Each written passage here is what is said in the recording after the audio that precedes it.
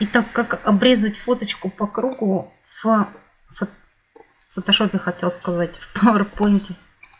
А, здесь есть работа с рисунками, обрезать по фигуре. Ну, тут не круг, поэтому выбираем вот здесь пропорции и один к одному. теперь можно подвигать.